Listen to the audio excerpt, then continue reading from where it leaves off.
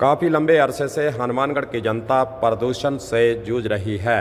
हालाँकि प्रशासन के स्तर पर भी यह बातें उठ चुकी हैं और लोगों के द्वारा बार बार इसके बारे में प्रशासन को चेताया जा चुका है प्रशासन के द्वारा जो प्रदूषण नियंत्रण कार्यालय, उसको फिर लिखा जाता है रिपोर्ट मंगाई जाती है कमेटी बनाई जाती है और फिर जिला प्रशासन के द्वारा इस कार्यालय को जो औद्योगिक क्षेत्र के अंदर फैक्ट्रियाँ लगी हुई हैं, उनकी चेकिंग करना और उनके अंदर पानी शोधन के यंत्र लगे हैं या नहीं, उसकी चेकिंग और जो प्रदूषण फैला रही हैं, उस पर कार्रवाई के लिए प्रशासन लिखता रहा है। राजस्थान राज्य प्रदूषण नियंत्रण मंडल हनुमानगढ़ से एक सूची हमने मंगवाई है। सूची को देखने के लिए मंगवाया कि 2023 के अंदर जिन फैक्ट्रियों के अंदर ईटीपी e नहीं लगा है और जो पानी, बाहर केमिकल युक्त पानी नाली के अंदर छोड़ रहे हैं, उसकी क्या रिपोर्ट है? 2023 की एक रिपोर्ट राज्य प्रदूषण नियंत्रण मंडल हनुमानगढ़ ने उपलब्ध कराई है। चौदह फैक्ट्रियों का इसके अंदर ज़िक्र किया गया है। एक आधी फैक्ट्री को छोड़कर इसके अंदर लिखा गया है कि सभी के अंदर ईटीपी की स्थापना की गई है और उन्होंने लिखा है कि निरीक्षण के दौरान जल रीकों की नाली में छोड़ा जा रहा है अथवा नहीं। तो ज़्यादातर इस कॉलम के अंदर आप देखेंगे नहीं शब्द है। जानी यो फैक्ट्रियाँ इन्होंने चिन्हित की हैं, जिनको नोटिस देने की बातें आई थी, प्रदूषण फैलाने की बातें आई थी, और ईटीवी e लगाने की बातें आई थी, उसकी रिपोर्ट पेश की गई है।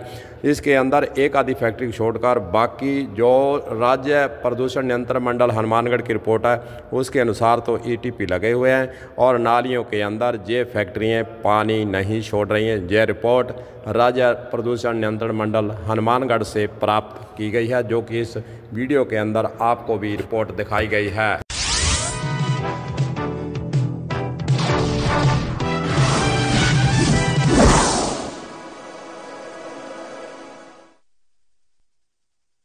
यह सरकारी रिपोर्ट है और कमेटी के द्वारा और प्रदूषण नियंत्रण मंडल हनुमानगढ़ कार्यालय के द्वारा फैक्ट्रियों को चेक करने के बाद यह रिपोर्ट तैयार की गई होगी। इस पर हम कोई सवाल नहीं उठाना चाहते। सवाल हमारे सामने यही खड़ा है। जनता के सामने एक ही सवाल है कि आखिरकार अगर इतने ईटीपी लग चुके हैं और जो फैक्ट्रियों के अंदर प्रदूषित पानी फैलाने की बातें सामने आ रही हैं, अगर इन फैक्ट्रियों के अंदर ईटीपी लगे हुए हैं और जो रिपोर्ट के मुताबिक कि ये नाली के अंदर पानी नहीं फेंकते हैं तो फिर औद्योगिक क्षेत्र के अंदर जो गंदा और केमिकल युक्त पानी आ रहा है, वह कहाँ से आ रहा है, इसके बारे में कोई विभाग बताएगा? क्या जनता को यह बताने का प्रयास करेगा कि आखिरकार ईटीपी लगने के बाद भी फैक्ट्रियों के द्वारा फिर प्रदूषण क्यों फैलाया जा रहा है? और हनुमानगढ़ जो ज़िला है, वह सबसे प्रदूषित शहर की श्रेणी के अंदर क्यों फिर आखिरकार आ गया है?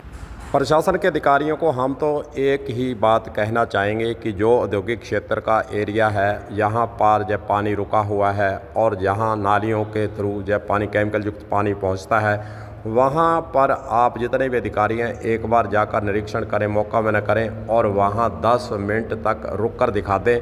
तो फिर समझ में आ जाएगा कि वहाँ पर प्रदूषण नहीं है। वहाँ पर रुकना बड़ा ही ख़तरनाक साबित हो जाता है। वहाँ से कोई लोग गुजरते हैं। चारों तरफ़ बुदबू का आलम है और बुदबू से वहाँ के लोग भी परेशान हैं। काफ़ी इलाका हनुमानगढ़ जंक्शन का इस बुदबू के कारण परेशान हैं और अधिकारियों के द्वारा तो यही रिपोर्टें दी जा रही हैं कि ईटीपी लग चुके हैं। कोई जो फैक्ट्री हैं, चौदह पंद्रह फैक्ट्रियों का ज़िक्र किया गया है कि उनके द्वारा कोई खुले में, नाली में गंदा पानी नहीं छोड़ा जा रहा है। सबसे बड़ा सवाल यही है कि फिर पानी आखिरकार कौन सी फैक्ट्री से आ रहा है, उसको चेक कर लीजिए और उसके अंदर ईटीपी लगा है या नहीं, उसको चेक कर लीजिए।